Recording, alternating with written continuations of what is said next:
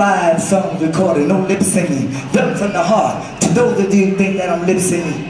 You're blind, you got no ears, you can't hear. But I'm gonna teach you a musical lesson. Anything.